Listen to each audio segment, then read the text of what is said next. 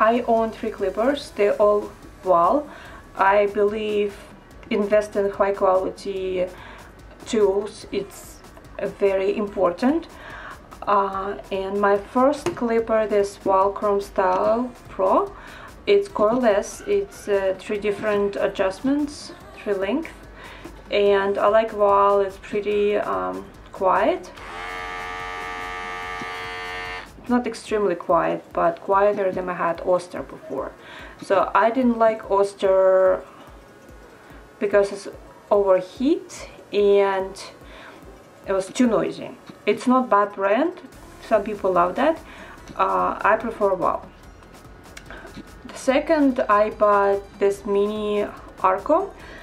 It's very nice tiny clipper for small work.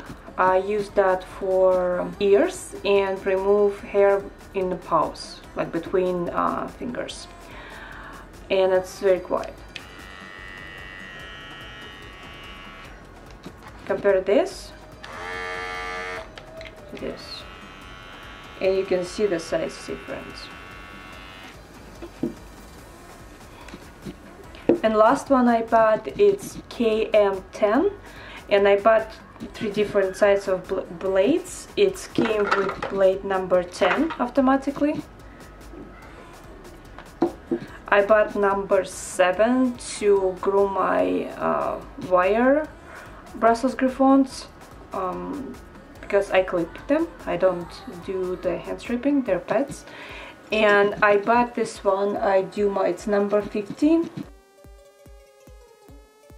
I bought this one for my smooth Brussels Griffon uh, Hershey, his pet, so I use that to clip hair on his um, rears. I will say it's pretty quiet.